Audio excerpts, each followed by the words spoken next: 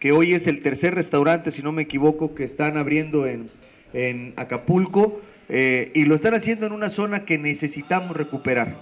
Mi gobierno ha decidido invertir, fortalecer, dar todas las facilidades para que reactivemos la zona tradicional. Hoy la estamos embelleciendo, lo que estamos haciendo en el centro histórico, el Zócalo, la Quebrada, el Fuerte de San Diego, Caleta, Caletilla.